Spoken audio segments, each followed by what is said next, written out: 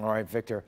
It has long been one of the most recognizable landmarks in the city of Monroe. The controversial statue of General George Custer has been prominently displayed along the River Raisin for more than 100 years.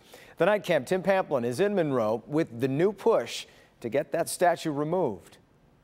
A discussion has started in Monroe. Build something better for the future. At the base of the General Custer statue at Monroe and Elm Street, a couple dozen protesters came out this evening demanding the statue be taken down and relocated. I have two children. Um, I don't want them to have to be protesting at the age of 36 the same things that I'm protesting for right now. The protest on behalf of Native Americans. We just want it removed completely because it means something to us more than it means to others.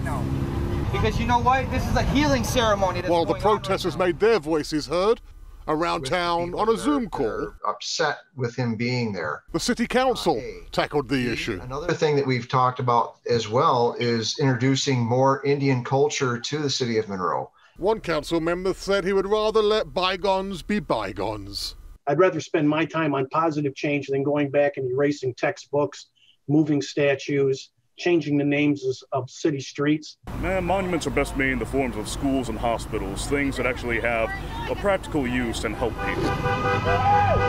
As the conversations continued on the street corners and around the virtual council meetings, the subject of inclusion and diversity came up. I just don't want it to be thought that I'm saying that it's negative to remove the statue. For the lone African American voice on the council, let me just say it straight out. I, I, think we have a big problem with racism in our county and in our city.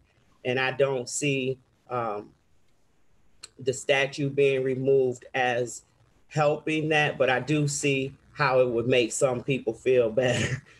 Tonight, the conversation continues. That is the scene in Monroe tonight with a night camp. Tim Pamplin, Local 4. All right, Tim, there is no vote scheduled, but another meeting is set with City Council for later in the week.